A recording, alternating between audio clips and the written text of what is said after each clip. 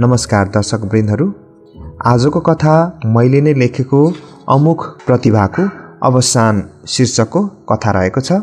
यस कथामा एक बलात्कृत नारी पात्रको कथा रहेको छ जुन नारी पात्र बलात्कृत भएर पनि समाजले उसैलाई दोषी देखाउँछ र एक अमुक प्रतिभाको अवसान हुन्छ। यही सन्दर्भमा मैले यो कथा लेखेको छु।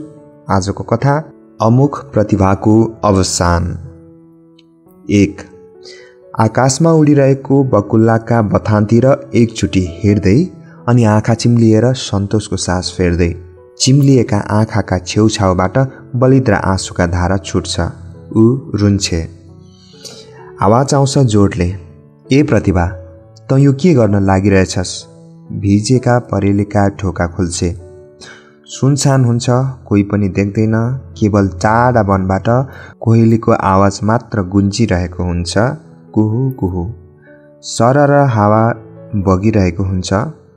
को बोल्दैछ? कराउँछे। प्रत्युत्तरमा आउँछ म तेरो अन्तरात्मा हुँ। तेरो हृदयको अन्तर चाहना?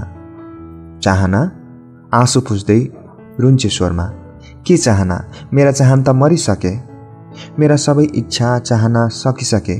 अब मात्र एउटा सानो इच्छा छ यो मरेतुल्य शरीरलाई कसरी पार लगाऊ? ऊ भन्दै थिए यही पहाडबाट फाल हानेर प्राण त्याग्यौँ कि पासो लगाएर सासको डोरी चोड्याउँ त मर्ने छैनस् आवाजले फेरि तरङ्गियो त मर्दैनस् उमेर हेर त तेरो। प्राण त्याग गर्ने उमेर हो त यो के त साँच्चै कमजोर छेस्?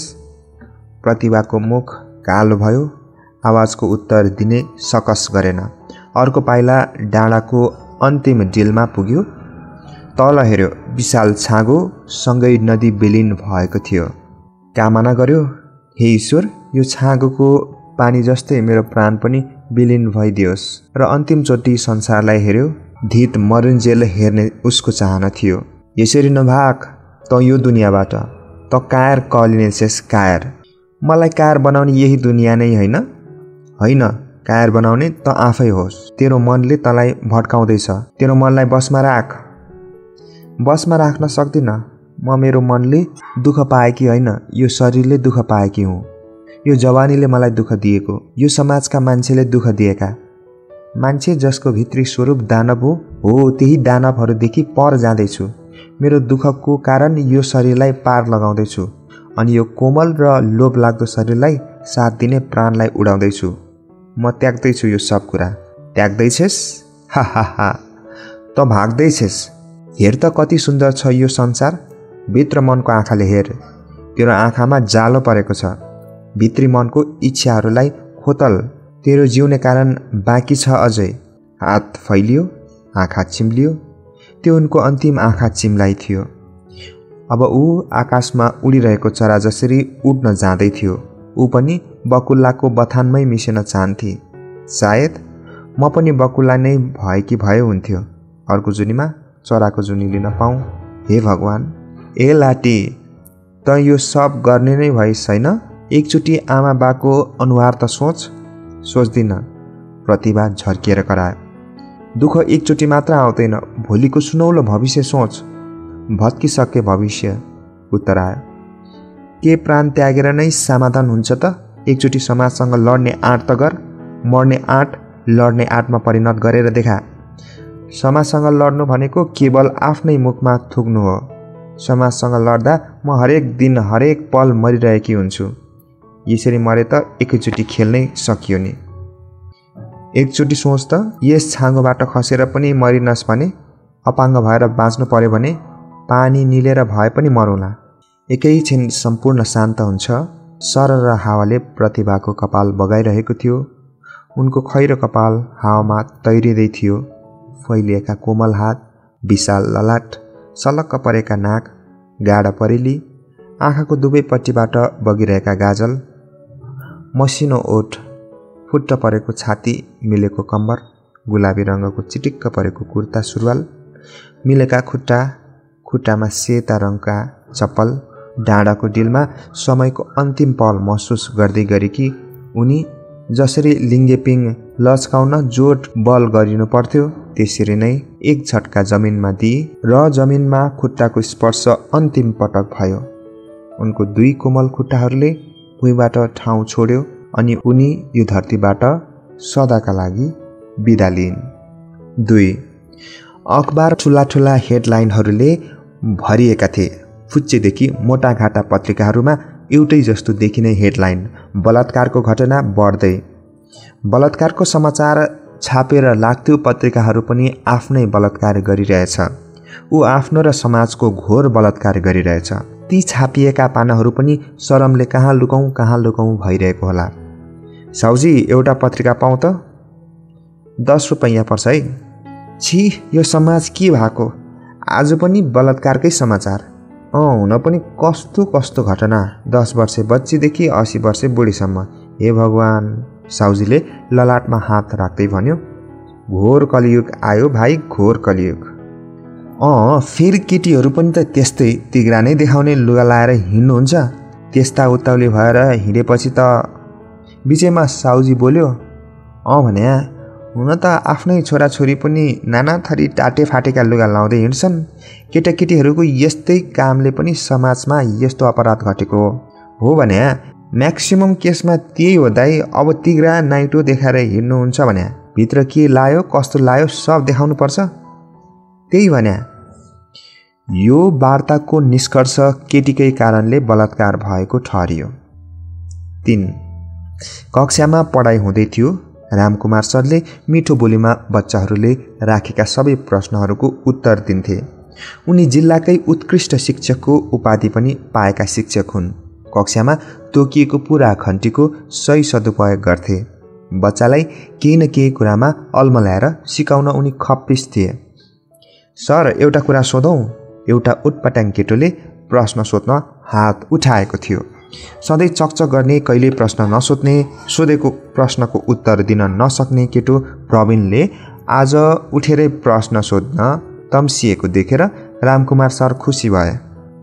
सोध न प्रश्न सोध्न त राम्रो हो प्रवीणले अङ्क नआउँदै भन्यो नकुट्नुहोस् है सर कुट्दिनँ बाबा प्रश्न सोध्दा किन कुट्ने प्रवीणले सुस्तरी अन्कनाउँदै सोध्यो सर यो बलात्कार भनेको के हो? के बाबाले आमालाई गर्ने पनि बलात्कार हो? कक्षामा गलल हाँसो उठ्यो। रामकुमार सरको मुखको रङ परिवर्तन भयो। उनले कहिले पनि यस्तो प्रश्न विद्यार्थीले गर्लान् भनेर सोचेकै थिएनन्। उनी अलि रिसाएको जस्तो गरेर बोले पाठको नबुझेको कुरा पो सोध्ने त। मेरो सब्जेक्ट मात्र सोध्ने। यो कुरा हेल्थ टिचरलाई सोध्ने। प्रवीणको कौतूहल तुइयो उसले यो प्रश्न न हेल्थ टिचरलाई सोध्यो न अरू कसैलाई नै। चार तैँले नै मारेको होस् मेरो छोरी। सरोजले चोर औँला काजीको छोरातिर तिर्साउँदै करायो सोफामा बसिरहेको काजी चुप थियो। सँगै बसेको इन्सपेक्टर वागले कागतमा केही लेख्दै थियो। मैले के गरा छोरा काजीको छोरा रोहन बम्कियो तिम्रो छोरीको म गोठालो हुँ र? जता जता जान्छे त्यति त्यति विचार गर्दै हिँड्ने? तिम्रो छोरी आफ्नै कारणले मर्यो। लेखेकै त्यही रहेछ भाग्यमा सरोजको रिस मरेको थिएन। साले तैँले नै आँखा गाडेको कारण त्यो मरि त हत्यारा होस्। काजी जङ्गिँदै करायो ए सरोजे यो मामालाई अस्ति नै मिलेको होइन? अब फेरि के कराउँछ से? तेरि छोरी लडेर मरि त यसको के दोष? त्यही त सरोज बोल्यो। अस्ति ऊ इन्सपेक्टर अङ्कलकै अगाडि मिलाएको होइन? घरको कुरा घरमै भनेर कुरा मिलाएको बिर्सियो? सरोज चुप भयो। ऊ त्यस दिन पनि चुप थियो जुन दिन आफ्नो बलात्कृत छोरीसँगै त्यही कोठामा बसेको थियो। उसको हातमा काजीले दुई लाख थमाउँदै भनेको थियो हेर सरोज तँ धेरै हल्ला नगर तेरो नै बेइज्जत हुन्छ। केटाकेटीहरूको कुरामा धेरै गनगन नगर आइन्दा हुँदैन। ऊ निराश थियो तर काजीको कुरा पनि ठिकै थियो। ऊ विवश बाउ थियो। उसँग न त पैसाको लोभ थियो न त व्यविचार ऊ घोस्रे मुन्टो लगाएर घर फर्केको थियो। साला मलाई हतियारा भन्ने? त त झन् तस्कर होस्। काजीको छोरो करायो। पैसाका लागि छोरीको इज्जत बेच्ने तस्करी गर्ने तैँले नै मारेको होस् तेरी छोरी। उसको शब्दले सरोजको दुखिरहेको मन टुक्रा टुक्रा भयो। ऊ घुवा घुवा रुन चाहन्थ्यो। ऊ निस्कियो काजीको घरबाट। न्याय खोज्न ऊ कहाँ जाने? न्याय त त्यही बेला खोज्नु पर्थ्यो जब छोरी बलात्कृत भएकी थिए। छोरी त जिउँदो हुन्थे। प्रतिभाको यो बलात्कृत समाचार छापेर कुनै पत्रिकाले शरम गर्नु परेन। प्रतिभाले हत्या गरी आत्महत्या।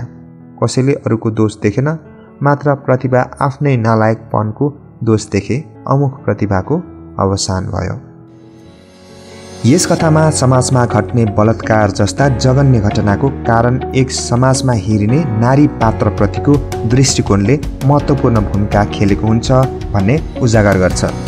एउटा विवश बुबा सरोजले आफ्नो बलात्कृत छोरीको न्याय माग्न प्रहरी प्रशासन जाँदा यो घटना उजागर हुन्छ। आफ्नो छोरीलाई कसले पो बिहे गर्छ भन्ने सोच्दा यो घटना घटेको देखिन्छ। त्यसमाथि बलात्कार गर्ने काजीको छोरो पुलिसको एक भ्रष्टाचार इन्सपेक्टरसँग मिलेर पैसाको प्रलोभन देखाएर कुरा मिलाउन खोज्छ। कुरा मिलाउँछ। बुवा सरोज पैसा भन्दा पनि समाजको डर भएकाले चुप लाग्छ। कतै उजेरी गर्दैन।